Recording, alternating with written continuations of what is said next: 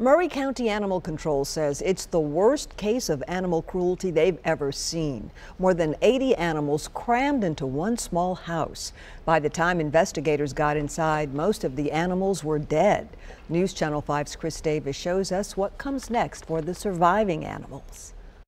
So we look at their eyes, their ears, their skin. We listen to their heart and their lungs. So often we wish our pets could talk. Oh, I know, you're so sweet. Let me look at your teeth here. To know what they're thinking or if anything's wrong. He's learning how to, to come out of his shell and learn that people are not bad. But in this case, it may be merciful because where do you even begin? They also were probably left in a crate and never taken out. So they have what's equivalent to bed sores where they've been resting in their urine and their feces. The chronic conditions he's been in hasn't allowed his eyes to really flourish. 23 animals were found near death inside this Maury County home. 50 other animals were already dead. Some of their bodies had been decomposing for months, even years. What I was told is that there were two back bedrooms. One was dedicated to a lot of the dead dogs, and the other one was dedicated to a lot of the dead cats. Animal control officials believe Carolyn Bauer was actually working with animal nonprofits out of West Tennessee to collect unwanted animals and keep them inside her home.